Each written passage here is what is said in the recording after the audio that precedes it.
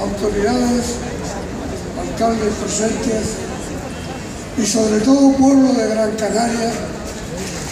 que es el que de verdad tiene que coger esta antorcha, tiene que pelear por ella, tiene que luchar y tiene que sacarla adelante. Y lo, esperamos fundadamente de todo corazón que así lo van a cumplir ustedes y muchos que aquí no están, que llegarán a estar. Muy buenas tardes ante todos y hoy, hoy 14 de febrero de 2017, se cumplen 90 años de un hecho histórico que la aldea de San Nicolás guarda siempre en su corazón. En ese día, a bordo de un correío, como no, que lo llevó desde Las Palmas costeando la isla hasta la aldea de San Nicolás,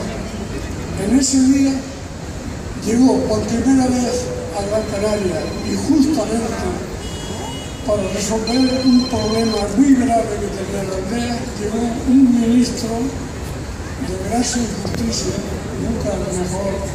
aplicada esa palabra al tema que lo llevó allí.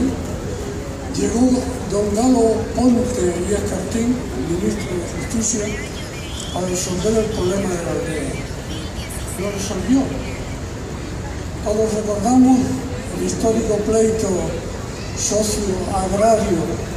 en que se debatía la población campesina de la aldea y cómo Galo Ponte convenció al gobierno de la nación de la necesidad de expropiar toda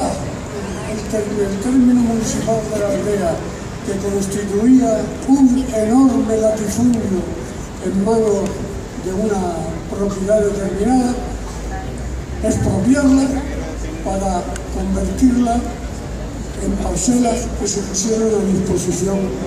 de los aldeanos junto con las aguas correspondientes que tenía también aquella propiedad. Esta fue, esta fue una victoria de la aldea, una victoria de la aldea, un reconocimiento por parte de los poderes públicos de que allí en la aldea había un grave problema que había que resolverlo de la forma que fuera.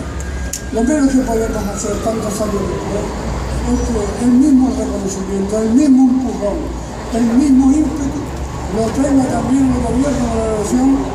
y por supuesto mucho más el gobierno de Canarias.